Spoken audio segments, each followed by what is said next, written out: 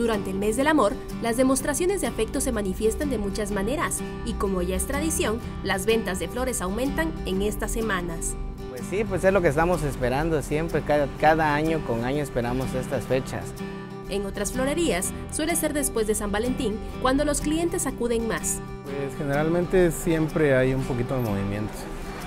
Eh, más que todo en las fechas posteriores al 14 de febrero, lo que más hay son cotizaciones. Sí, los clientes generalmente llaman para cotizar costos de ramos, orquídeas. Bueno, en el caso de nosotros, lo que más vendemos, nuestro, más, nuestro fuerte son las orquídeas. Entonces es de lo que más preguntan. Esto se debe a que los precios son cada vez más costosos. Al momento de no tener demasiada producción de flores, pues incrementa, se está incrementando casi en un 100%. Que está tan caro, lo que pasa es que generalmente en cada fiesta que le decimos nosotros o fecha especial, siempre hay incremento de, precios. Entonces a eso, eso viene, porque vienen y preguntan, ¿por qué está tan caro? Las rosas tienen un promedio, en todo el año está 10 pesos, no puede subir pero ahorita sí está en un promedio, va a estar como en un 30 o, si no es que llega a 40 pesos cada rosa.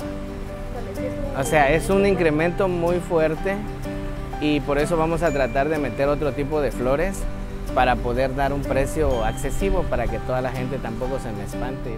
Otra buena estrategia es anticiparse, es decir, la gente agenda su pedido y ellos les respetan el precio. Lo importante es que los clientes no pierdan el interés por regalar un detalle floral. Creo que las flores son algo muy bonito, algo muy representativo para fechas como estas. Este, y por eso muchas gentes pues, prefieren regalar flores, ¿no? Y además porque pues, hay flores tan bonitas, ¿verdad? Que como que eh, ayuda a estimular la relación o la amistad entre personas.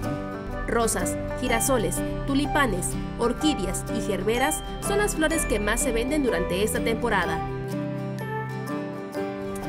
En el caso de nosotros, como ya nos hemos hecho más conocidos, eh, le vuelvo a repetir, son las orquídeas, pero las rosas nunca dejan de...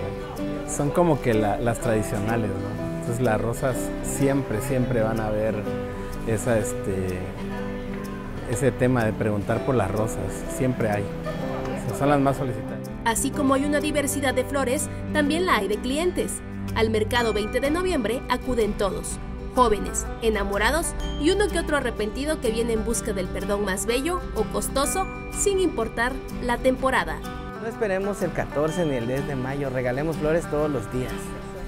Sí, ese sería el lema de no olvidar. O sea, un detalle es una rosa, no necesariamente un arreglo grande. Podemos regalar una rosa y es un detalle que no debe morir. Para Alerta Chiapas, Carolina Castillo.